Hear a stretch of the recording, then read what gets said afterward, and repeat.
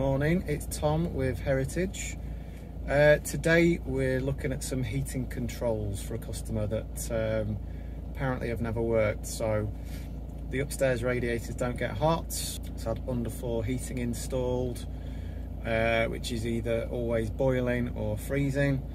Uh, yeah, so we're going to do a bit of fault finding, see if we can find out uh, what's going on, get the heating working properly for them we're going to put the hot water onto a Heatmiser uh, hot water controller uh, and we're going to install a thermostat upstairs, a Heatmiser thermostat upstairs so that everything's on the same system. So let's see how it goes.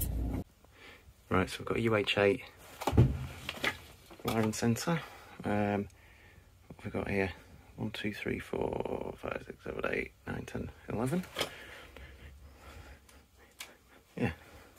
11 heating loops. Um,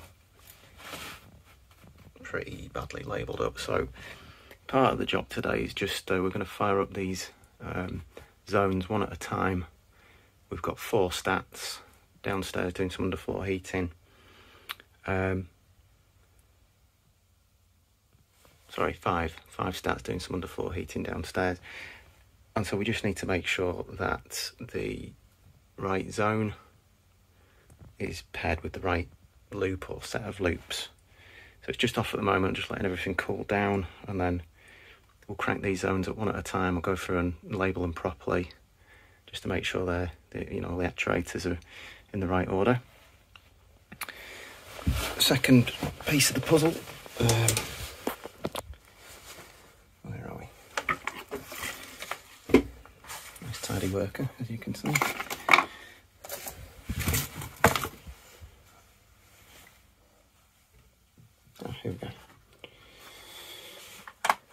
So the hot water was controlled by this generic timer.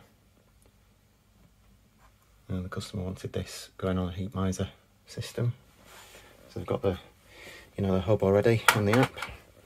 So we wanted hot water control through the Heatmiser app, so we've just done that. Here's the sort of wiring centre, we just need to tie this up a little bit. Um, now the upstairs radiators, you see we've got a zone valve for upstairs heating, uh, upstairs radiators. We've got a zone valve for uh, underfloor heating and got a zone valve there for the hot water.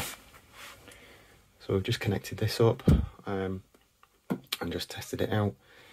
So it obviously calls for calls for heat down here. It goes through the safety thermostat on the hot water cylinder comes back it then tells the valve to open. Once the zone valve's open that then fires up the boiler and that comes on and off as uh, you know according to the uh, program settings that you make either on the device or in the app. So that's first piece of the puzzle done. The next piece of the puzzle we had a battery powered thermostat upstairs. Um, again just a generic thermostat which uh, was sending signal down this three core to fire the boiler when heat was required upstairs, although the customer saying that um, the radiators weren't getting hot upstairs or you know it wasn't getting up to temperature. So here you could see these are the live switches. Once the zone valves close, that sends voltage down these orange cables. That black that you can probably just see running along the back there, down this flex, that's the switch live to the boiler. This black here from this uh, grey flat three core cable, you see that goes onto the voltage in of the zone valve and then it would return on one of these uh, orange cores once the valve had closed and then voltage onto the boiler. Um, I'm going to stick one of these Heatmiser Neos upstairs. These need we obviously a live and a neutral, um, which this wasn't actually getting, uh, you know, 230 volt live, and there's no neutral up there at the moment because it was battery powered. So just need to redo this cable you know, we've got a permanent supply here, got a neutral here, we've got earth or CPC here, and then this black switch coming back can actually stay where it is. Because then that will open the open the valve. Once uh, sorry close the valve uh, yeah open the valve. Open the valve and close the switch in the valve and once that's done we'll fire the boiler up. So just a little bit of rejigging here but then hopefully that should do the switching. So let's just get that done and just before we go and connect the new start um, customers saying that uh, upstairs didn't seem to be getting uh, seems to be getting hot. And like I say it's it's a battery powered thermostat upstairs. And if the camera will focus the on switches. So you see we've got new, a live neutral terminal and then one two three four other terminals on the back of here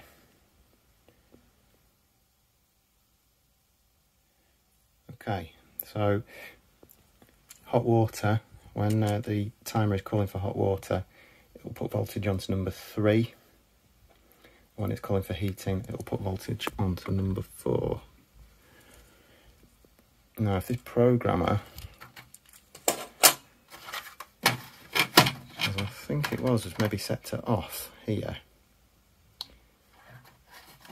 Even if the little battery powered thermostat was calling uh, on the black core here. The other brown core would have been used to pick up voltage from the old timer. If that's if that's never on, it's never going to get that voltage. It's never going to fire the boiler up. So I think that's probably why the radiators weren't getting hot upstairs.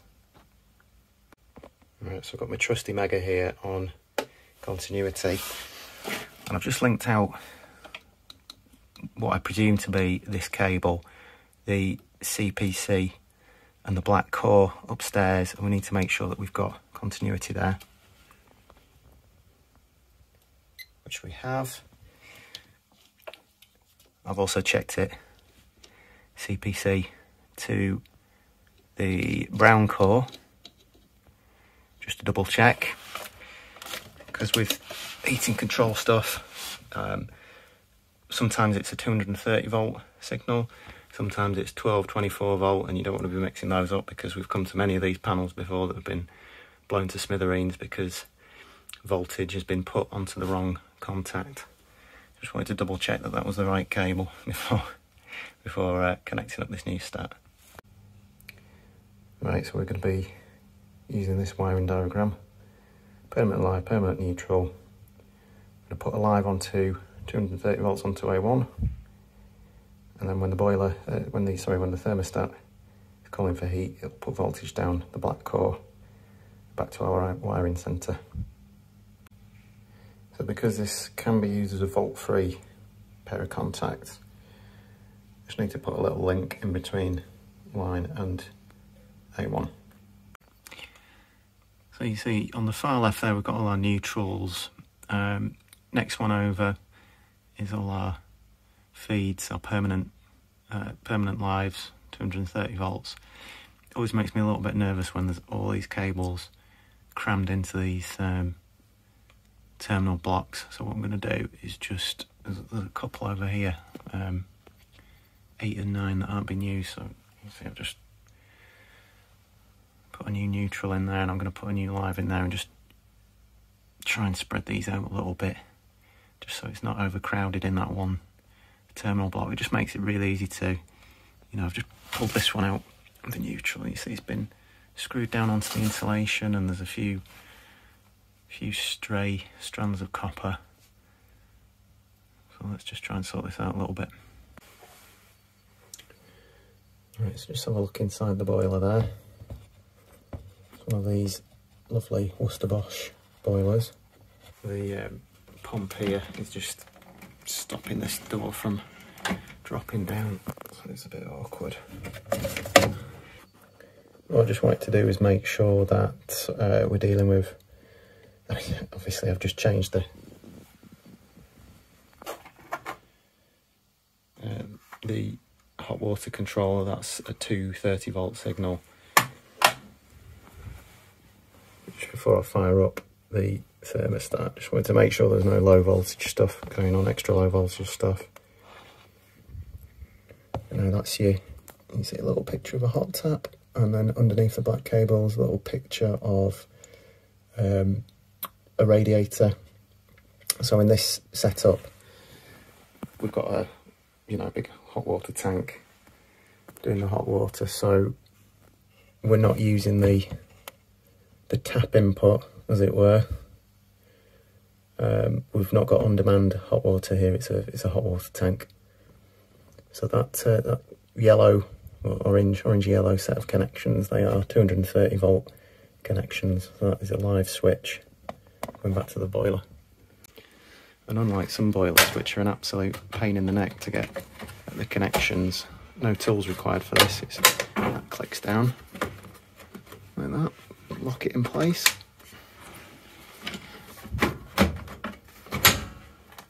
That clicks into place, so you just press these little flaps. Pull that down, and then the lid just hooks on and clips in as well, so it's really nice to work on. Right, so we've got the stat calling upstairs for the upstairs radiators now. Pump's going. You see there's no resistance on that zone valve, which means that's open. So that's for the radiators upstairs. Let's just get our meter out. So we've got the permanent going to the thermostat. You can hear there's voltage there. And then we've got the black coming back here, that snaked one. We've got voltage there, and then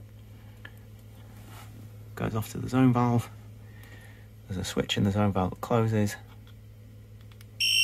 We've got voltage there, and then that straight black cable goes to that uh, terminal on the boiler that we were looking at before for, for heating. So rads are getting nice and warm upstairs, so happy with that. Um, next thing, we just need to add these two new devices to the Heatmiser app. In the meantime, I'm just going to start uh,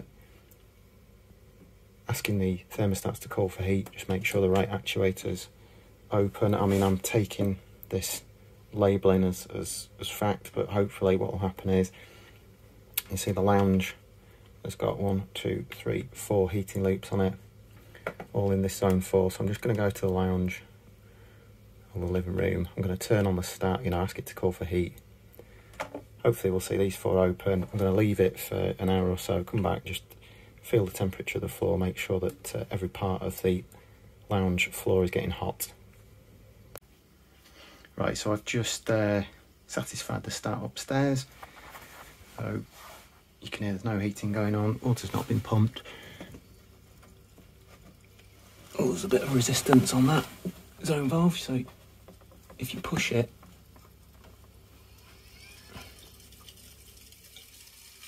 and then it snaps back like that, means it's closed.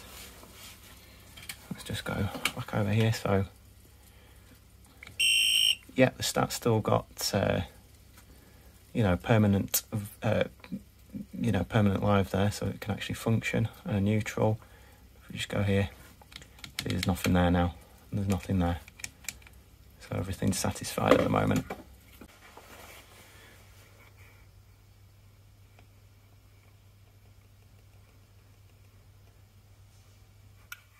Right, so this is the living room.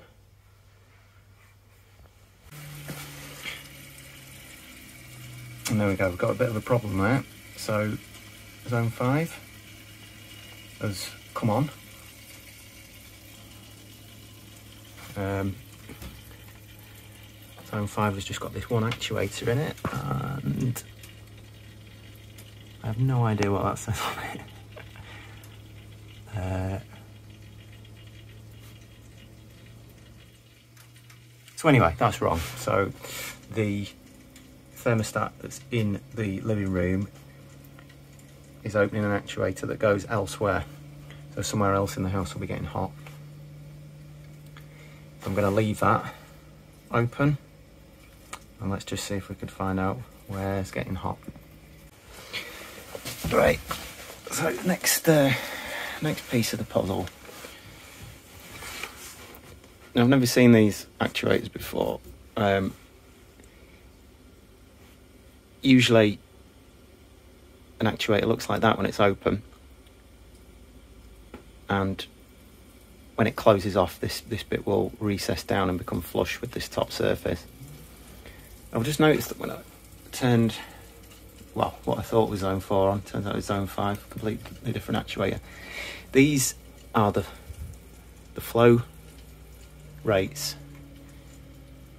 So really, if this is the only actuator that's open or opening, this should be the only loop that's showing flow, whereas all these were showing flowing. So just looked at, looked at the instructions for these, and I think these just pull out. I think they should be.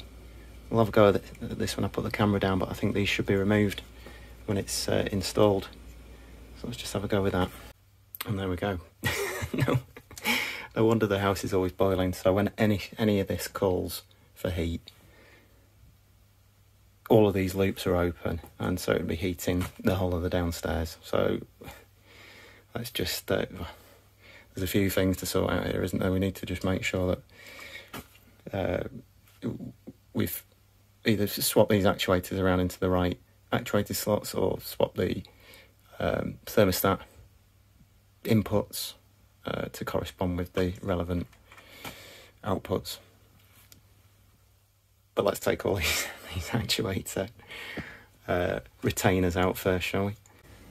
Right, so our Aronius Zone 5 is calling for heating now. Can you see that actuator is standing proud? Here's your flow rate. All of the others are now closed off because all of the actuators are closed off.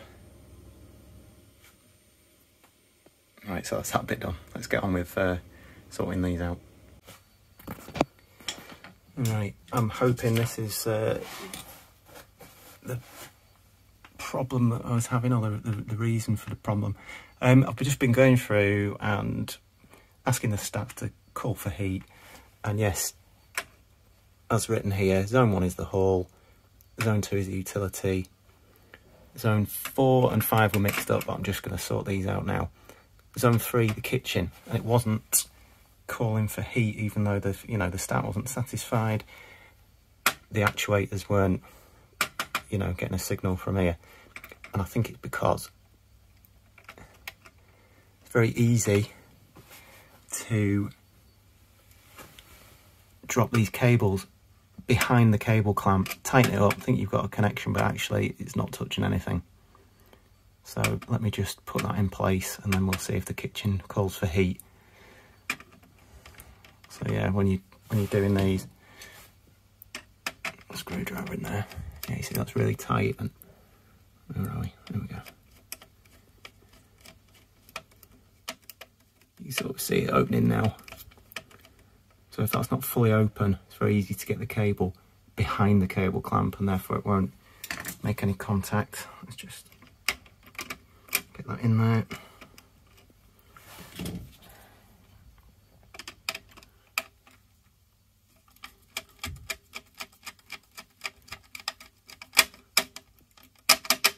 Screw that in. Let's give it a tiny tug test. Yeah, that's in place now. Let's give that a go. Cool, so now we can see zone three, the kitchen, lights on, it's calling for heat. So it was just that loose connection. Right, so I've just spent a little bit of time just tidying up the UH8. It was a bit of a, with all due respect, bit of a plumber's job. I wouldn't be able to do the pipe work. They're not quite as good as the, wire, at the wiring. Anyway, so this was a bit, this was, uh, you could see they tried to fix it with one, two, three, four, five, six screws. I'll just put it in properly with a couple of screws. It's nice and solid now. Just rerouted these cables at the back so that they're coming in the right order and they're not crossing over each other. Um, yeah, just makes it a little bit easier to maintain and see what's going on. And then all of these uh, actuator cables, which we always find them sort of looped over the top, just dangling over all this. Just tuck them behind, uh, shorten them a little bit, just so they're not, you know, flapping around. And if someone comes to inspect and catches hold of one and pulls the board off the wall, etc. And then these cable grips, just pinched a couple of screws from places where they're not being used, just to keep these cables nice and tight. Right, so we're all done and dusted. Covers back on. Just labelled these zones uh, for the customer's reference.